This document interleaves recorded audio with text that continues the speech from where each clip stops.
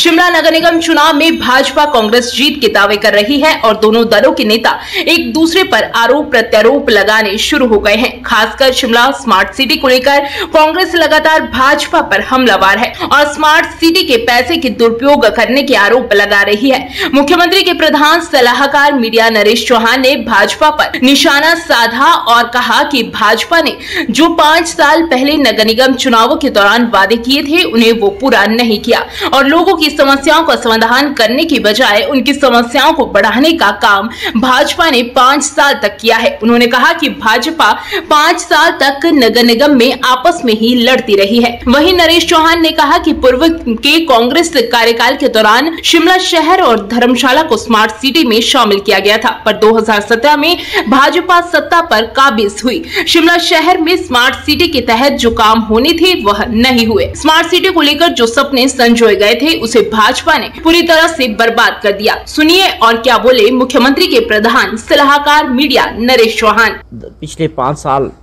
नगर निगम में भाजपा की थी और चुनाव के दौरान जो भाजपा ने उस वक़्त शिमला की जनता से जो वादे किए थे, उन पाँच सालों में वो पूरा नहीं कर पाए। शिमला की जनता की समस्याएँ बढ़ी, विकास की दृष्टि से शिमला रुका रहा इन पाँच सालों में और पाँच साल के दौरान जो भाजपा की थी, उनका अधिकतर समय आप देखें, जब भी हाउस होता था तो उसके अंदर जो है, आपस की गुटबाजी की वजह से वो सारा पाँच साल का जो कार्यकाल है, वो एक हिसाब से बर्बाद हुआ। जो विकास की दृष्टि से शिमला पिछड़ा है, उसको दोबारा से पटरी पे लाने के लिए और लोगों की समस्याएँ, चाहे पीने के पानी की हैं, चाहे आप पार्किंग की बात करें, या आप ट्रैफ़िक जैम से निजात दिलाने की बात करें, या स्मार्ट सिटी के अंदर जो शिमला के लोगों ने एक सपने देखे थे,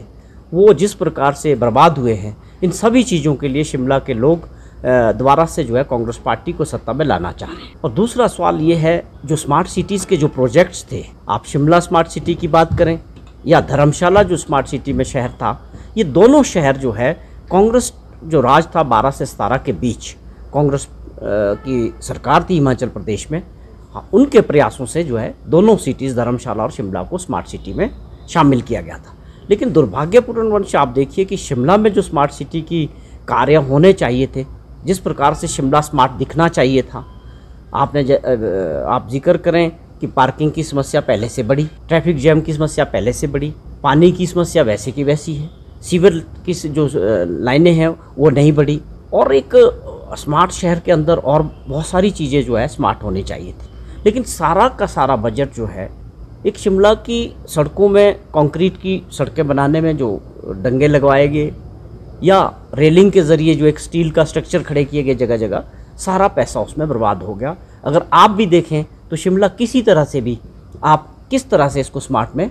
कह सकते हो कि स्मार्ट। ऐसे ही वीडियो को देखने के लिए ई एन टीवी के फेसबुक पेज को लाइक करें और यूट्यूब चैनल को सब्सक्राइब करें। और वीडियो अच्छी लगी हो तो शेयर ज़रूर करें।